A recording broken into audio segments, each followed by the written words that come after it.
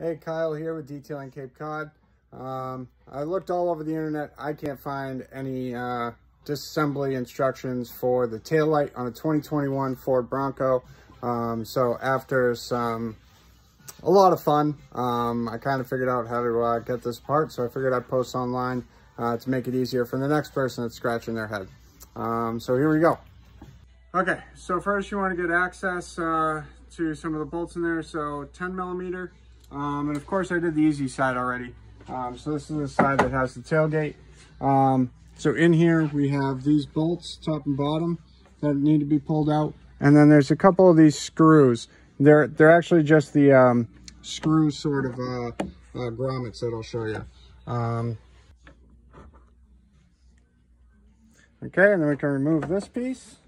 So there's also these in here that are very difficult to get out. Um, I ended up uh, going with a number eight here. It's the only thing that would really fit um, inside. So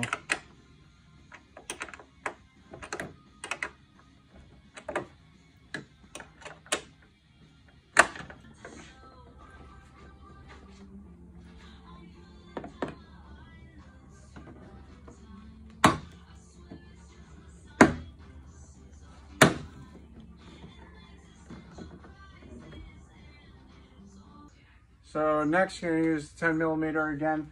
There is actually a little bolt right up underneath here that you're gonna need to remove. And it's not very friendly because it's at an angle.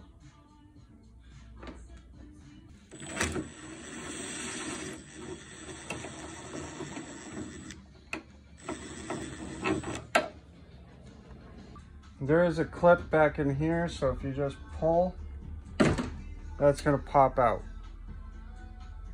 All right, so after we pop that out, you're gonna wanna come over here and disconnect the wiring harness, which wants to be a pain for me.